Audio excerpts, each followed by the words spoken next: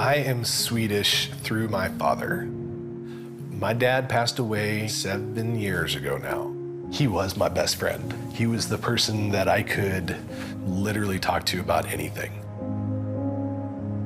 I know that my dad wanted to go back. That would have been a life goal uh, for him to go back and see where his ancestors, you know, came from. And the fact that I'm actually the one that helps him complete that is humbling. It's very humbling.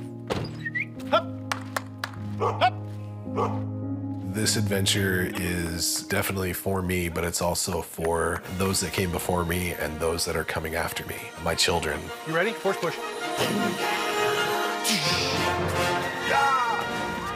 Growing up, I kept hearing from my dad and from my mom that I need to have kids. It is, I am the last Neslund in our line.